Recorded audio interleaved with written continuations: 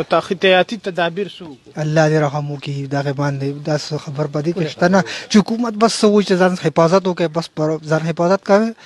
تا د مو دغه مخکې ته دغه ولې نه چولې نو ما خو ځکه نه دی چولې